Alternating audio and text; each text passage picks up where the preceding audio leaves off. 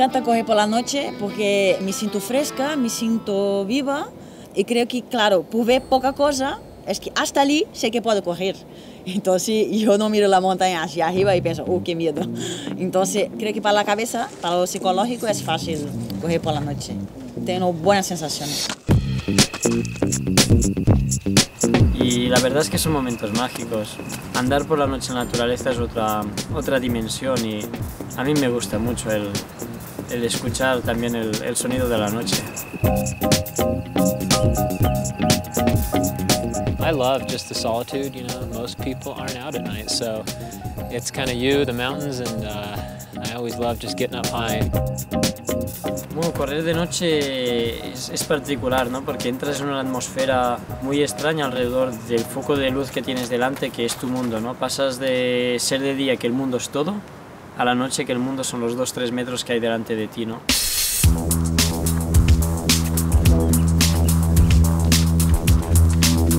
On a une vision relativement courte, hein, euh, on a la vision que nous, nous offre la lampe.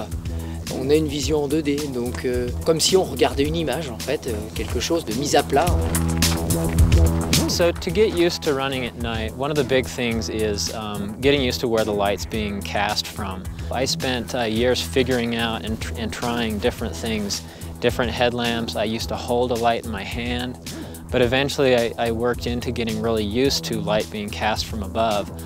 When the light source is right, you know, where your eyes are, it means that you're not seeing shadows, so your depth perception does drop off. So you really got to get used to it and train your mind uh, and your eyes to pick up some of the nuances of the trail.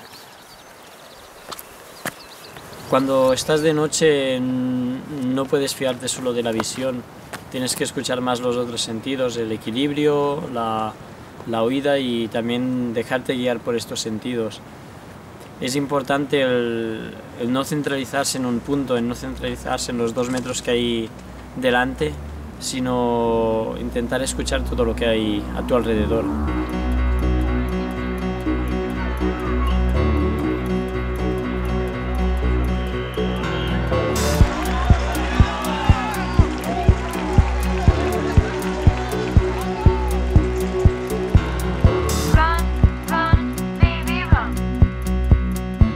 En las carreras largas, cuando hay parte de noche es importante organizarse bien. Para eso hay que pensar que las baterías primero con el frío pueden sufrir más y por eso llevar más baterías en la mochila que, que no pesan nada y, y te pueden salvar de algún apuro.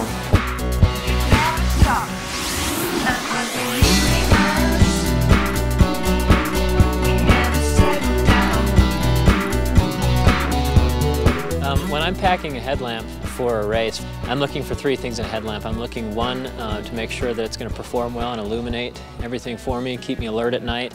Two, that it weighs the least amount possible. And three, that it's reliable. It's really those three things uh, that you want as a runner. Es importante cuando, cuando corres de noche para salirte de este mundo de dos metros delante de los pies, el ir combinando el, mirar cerca, el ver los obstáculos con el terreno más lejos para ver dónde está el camino a seguir. ¿no?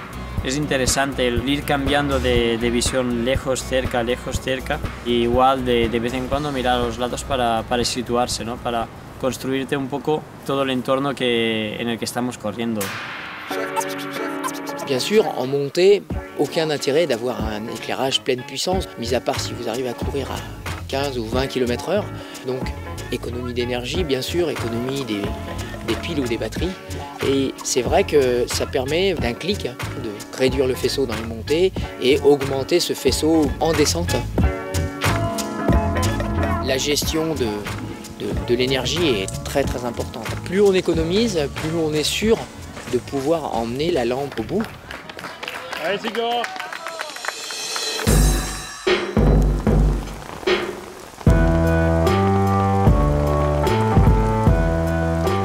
Bueno, tenemos dos tipos de iluminación. Primera sería la increciente, que es la clásica, empieza con el máximo de, de iluminación y a medida que pasan las horas vamos bajando. Es interesante porque tienes una duración de batería muy larga. Y en carreras muy técnicas tenemos un segundo tipo que es la iluminación constante.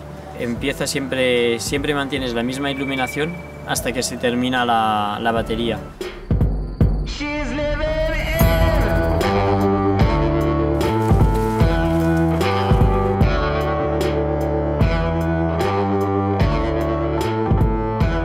L'important, ça va être au début de s'entraîner sur des parcours que l'on connaît, des parcours que l'on maîtrise, et autant que possible de s'entraîner en groupe.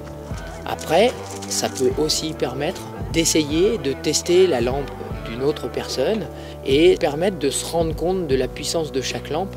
Et c'est vrai qu'avec euh, l'arrivée de l'éclairage dynamique, ça risque de faire euh, des émules et, euh, beaucoup de convertis.